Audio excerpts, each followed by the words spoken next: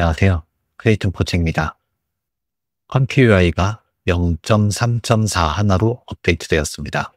이번 업데이트에서는 엔비디아 코스모스 Predict 2 모델을 공식 지원하며 Comfy 코어 노드에서 LoRA 학습을 지원하게 되었습니다. 지금부터 이번 버전의 핵심 업데이트 내용을 하나씩 정리해 드리겠습니다. 먼저 신규 모델 소식입니다. 이전 커뮤니티 게시글로 소개해드렸던 엔비디아 코스모스 모델군의 하나인 Predict2 모델을 ComfyUI에서 공식 지원하게 되었습니다. 이번에 공개된 모델은 T2i 모델과 i2w 모델이며 저사양 모델인 2B 모델과 고사양 모델인 14B 모델을 동시에 공개하였습니다. 다음은 LoRA 학습 노드 추가 소식입니다. Comfy 코어 노드로 LoRA 학습을 지원하도록 신규 노드를 추가하였습니다. 이번 노드만으로 LoRA 학습 workflow를 구성할 수 있습니다. 그 외 많은 부분의 개선이 이루어졌으며 AMD 제품군의 최적화가 진행되었습니다. 이제 주요 업데이트 내용을 순서대로 설명하겠습니다. 먼저 엔비디아 코스모스 모델군 소식입니다. 코스모스는 원래 자율주행과 robotics 같은 산업을 위해 개발된 엔비디아의 AI 플랫폼입니다. 텍스트, 이미지, 영상처럼 다양한 입력을 받아 장면의 흐름이나 구도, 즉 세계 상태를 예측하고 만들어낼 수 있는 멀티모달 모델입니다. 복잡한 배경이나 인물의 움직임, 카메라 연출까지 실제 환경처럼 시뮬레이션 하는데 강점을 갖고 있습니다. 이러한 특성 때문에 코스모스는 P2V나 I2V 같은 일반적인 용어 대신 P2W, I2W라는 표현을 사용합니다. 이번에 공개된 Predict 2 모델은 T2I와 I2W를 지원하며 경량형인 2B 모델과 고성능 14B 모델이 함께 발표되었습니다. 특히 2B 모델은 12GB VRAM 환경에서도 구동 가능한 경량 모델이며 GenEval 벤치마크 기준으로는 FLUX Dev보다 높은 점수를 기록했습니다. 모델은 ComfyUI에서 변환한 safetensor 파일을 다운로드 받아 사용할 수 있고 엔비디아의 Hugging Face 공식 repository에서도 다운로드하여 사용할 수 있습니다. 이번 업데이트에서 Predict2 모델의 workflow가 공식 템플릿에 적용되었으므로 먼저 T2I workflow부터 살펴보겠습니다. 템플릿을 열면 Comfy의 frontend 업데이트로 인해 missing models의 화면에서 URL을 복사하거나 곧바로 다운로드 받을 수 있도록 되어 있습니다. 해당 모델을 보유하고 있다면 취소하고 그렇지 않다면 모두 다운로드 하시면 됩니다. 만약 별도로 다운로드 받으시면 해당 폴더로 복사하거나 이동하시면 됩니다. T2I 모델의 workflow를 살펴보면 텍스트 인코더는 old T5를 사용하였고 VAE는 Wan2.1 VAE를 사용했습니다. Load CLIP에서 Cosmos로 선택하면 되고 연산 디바이스는 사용하시는 시스템에 맞게 기본값이나 CPU를 선택하시면 됩니다. 이번 Predict 2 모델이 추가되면서 model sampling continuous EDM이란 노드에 Cosmos RFlow 샘플링 값이 추가되었는데 KSampler로 연결해주면 보다 나은 이미지를 생성하실 수 있습니다. 이 노드에 대해 간략히 설명드리면 연속 EDM 샘플링 기법을 사용하여 모델의 샘플링 기능을 향상시키도록 설계된 노드입니다. V prediction 모델에서 종종 사용하는 것을 볼 수 있었는데 이번에 Cosmos RFlow가 추가된 것입니다. sigma max 값과 sigma minimum 값이 있는데 각각 노이즈 레벨의 최대값과 최소값을 조절하여 생성 품질의 다양성과 제어력을 제공하는 노드입니다. 추가로 노드를 클릭하면 우측에 물음표가 나오는데 0.3.40에서 업데이트된 node help 기능이 바로 이것입니다. 노드를 클릭하면 왼쪽에 해당 노드와 각 파라미터에 대한 설명이 표시됩니다. 현재 다양한 언어를 지원하고 있으며 Comfy의 설정을 한국어로 바꾸면 이 설명들도 모두 한국어로 확인하실 수 있습니다. EDM 노드를 연결하기 전과 후를 비교해 보면 이미지 품질의 차이가 있는 것을 확인하실 수 있습니다.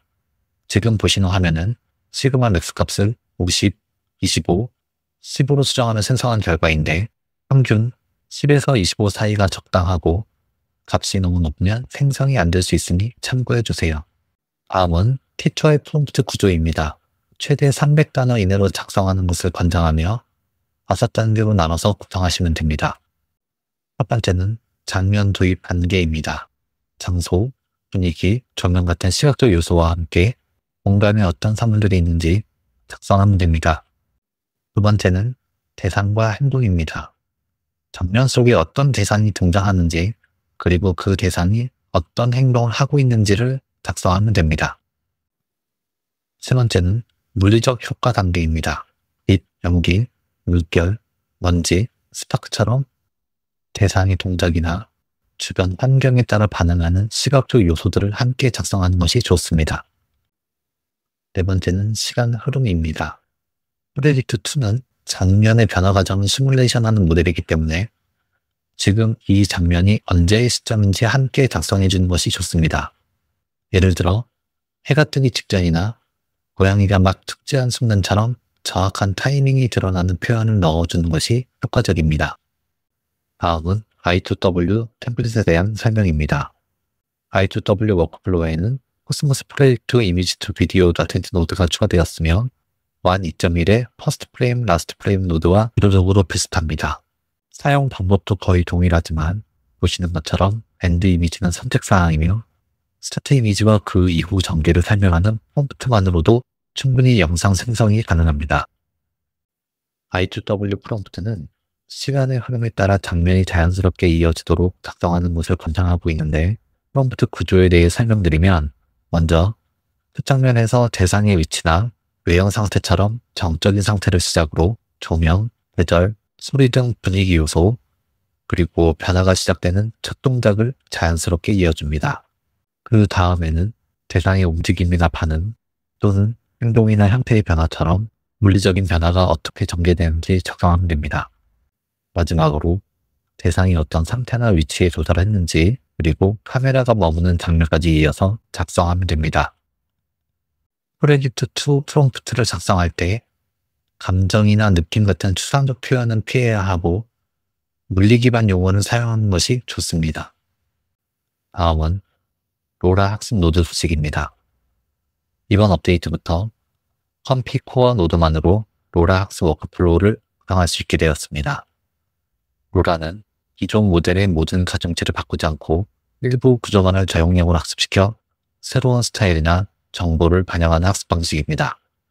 즉, 원본 모델을 그대로 두고 적은 양의 데이터로 새로운 특성을 빠르게 반영할 수 있어 캐릭터, 얼굴, 스타일 전환 등에 널리 사용되고 있습니다. workflow 템플릿은 별도로 제공되지 않기 때문에 노드를 직접 구성하면서 설명드리겠습니다. 먼저 load checkpoint를 배치하고 그 다음엔 train LoRA 노드를 연결합니다. 다음은 학습 dataset을 불러올 수 있는 dataset 노드를 연결해야 합니다. 기술적으로는 단일 이미지로도 학습이 가능하지만 정상적인 학습 결과를 위해서는 최소 5장 이상, 가능하면 10장 이상의 이미지를 사용하는 것이 좋습니다. 따라서 한 장의 이미지로 학습하려면 load image 노드를 사용하고 두장 이상의 이미지로 학습하려면 dataset 노드를 사용해야 합니다. 이 노드는 input 폴더 내부에 있는 하위 폴더를 참조하므로 input 폴더 안에 새 폴더를 만들고 그 안에 이미지 파일을 넣어주시면 됩니다.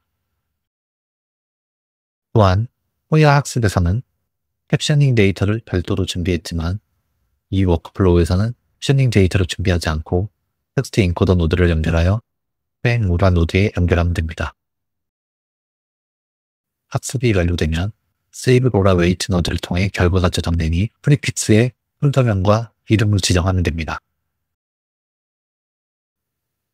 Plot Loss Graph 노드를 연결하면 훈련 중 손실값이 어떻게 변화했는지를 확인할 수 있습니다.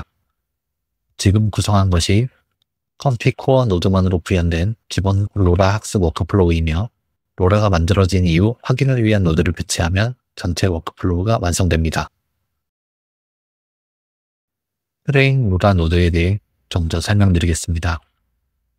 먼저 batch size는 한 번에 몇 장의 이미지를 가져와서 훈련시킬지를 의미합니다. 예를 들어 batch size가 2라면 두 장을 묶어서 한 번에 훈련하는 방식입니다. 다음으로 steps는 batch size로 묶은 이미지들을 몇 번 학습할지를 정하는 값입니다. 즉, 이미지 묶음을 몇 회 반복해서 학습할지를 설정하는 항목입니다. learning rate는 모델이 얼마나 학습할지를 조절하는 값이며 0.0001처럼 매우 작은 값을 주는 것이 일반적입니다. 이 값이 너무 크면 학습이 불안정해지고 너무 작으면 학습 속도가 지나치게 느려집니다. rank는 LoRA가 얼마나 자세하게 학습할지를 정하는 값입니다. 숫자가 클수록 더 복잡한 내용을 학습할 수 있지만 학습 시간과 메모리 사용량이 늘어납니다. 보통은 4 또는 8 정도로 설정하는 것이 적당합니다. 옵티마이저는 학습할 때 모델이 얼마나 효율적으로 수렴할지를 결정하는 방식입니다. 기본 값인 아담 W는 대부분의 경우에서 안정적인 성능을 보여줍니다. 로스 펑션은 예측 결과와 목표 간의 차이를 계산하는 방법입니다. 보통 MSE를 사용하며 다른 값들은 실험적인 설정이니 특별한 목적이 없다면 바꾸지 않으셔도 됩니다. seed는 학습의 재현성을 위한 값입니다. 같은 데이터와 설정으로 동일한 결과를 만들고 싶다면 시드 값을 고정해 두시면 됩니다.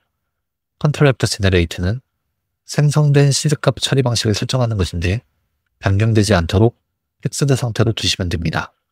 training dtype과 LoRA dtype은 학습할 때 사용되는 연산 정밀도를 설정하는 항목입니다. 기본값인 BF16은 적은 메모리로 빠르게 학습할 수 있어 대부분의 환경에서 사용하는 설정입니다. 마지막으로 이그지스템 로라는 이미 만들어둔 LoRA를 불러와 이어서 학습할 때 사용하는 옵션입니다. 처음 학습할 경우에는 none으로 두시면 됩니다. 여기까지 진행하셨다면 epoch 값은 어디서 설정하나요? 라고 궁금해 하시는 분도 계실 수 있습니다. Train LoRA 노드에는 epoch를 직접 입력하는 항목은 없으며 학습량은 스텝, batch size, 이미지 수를 기준으로 자동 계산합니다. 따라서 이전과 같은 epoch 수로 학습하고 싶다면 스텝을 epoch 기준으로 역산하여 설정해야 합니다. 학습에서 가장 중요한 설정은 learning rate, 스텝, 그리고 rank 값입니다. 각각은 의미와 역할이 다르기 때문에 표나 예시를 함께 보면서 구분하여 이해하는 것이 좋습니다.